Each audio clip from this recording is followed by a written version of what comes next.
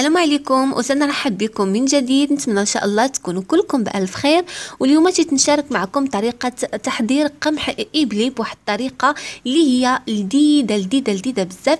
يعني كنلاحظ بزاف ديال البنات كي كيكون عندهم يعني إبلي في البيت ولكن ما تعرفوش كيفاش يحضروا بشي طريقة اللي كتجي هكذا لذيذة. فإن شاء الله أنا متأكدة بأن الطريقة هذه غادي تعجبكم وتعجب كذلك الوليدات ديالكم. يعني يقدروا كذلك يصطحبوه معاهم للمدرسة أو لا آه به يعني المشاوي أو الأطباق الرئيسية اللي كتحضروها في البيت. فالطريقة هي سهلة وبسيطة. كما كتشوفوا أنا احتاجيت هنا واحد الكمية ديال القمح إبلي. أنا هنايا تقريبا عندي واحد الزلافه آه كبيرة أو مشربه كبيرة. فوالا كما كتشوفوا غادي نحتاجو كذلك واحد المعلقة كبيرة ديال الزبدة. يعني ولا بدا ما تستعملوا الزبدة ما تستغناوش عليها لكن لأنها غادي تعطي الطبق ديالنا واحد النكهة أكثر من رائعة. عندنا كذلك واحد شوية ديال الزعتر.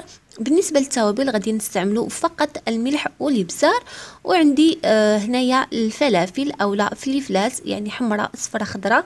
تبارك الله كما كتشوفوا يعني اللوينات ديالهم زوينين ومتناسقين. وعندنا كذلك واحد البصيلة مشلظة اللي أنا وضعتها هنا مباشرة في الطنجرة.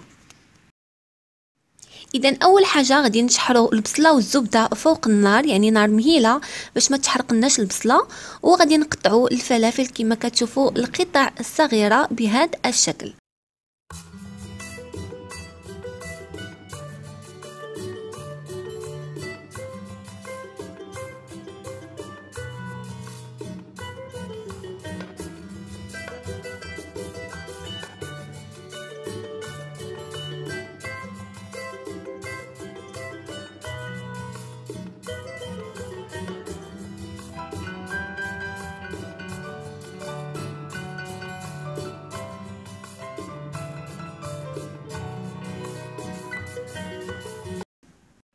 ومن بعد ما كتشحرنا البصلة ديالنا فاحنا غادي نزيدو الفلافل غادي نزيدو كذلك الكمية ديال الابلي إبلي كما كتعرفوه فهو تيكون ديجا طيب نص طيبة يعني تيكونوا هما مبخرينو.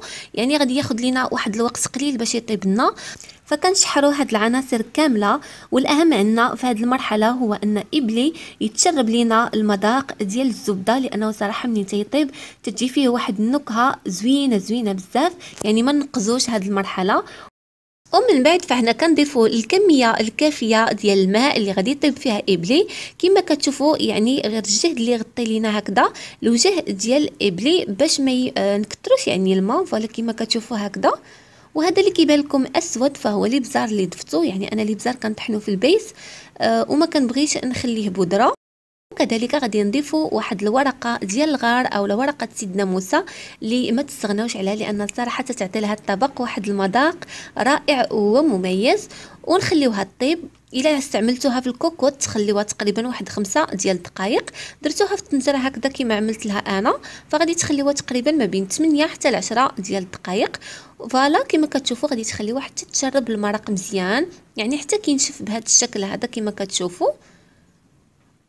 فوالا وتقدروا أن يعني رافق المشاوي كذلك الأطباق الرئيسية كذلك كوجبة عشاء يعني خفيفة نحضروها في الليل وأنا كذلك سنحضر صراحة لوليداتي يصطحبوه معهم للمدرسة فتعجبهم بزاف بزاف.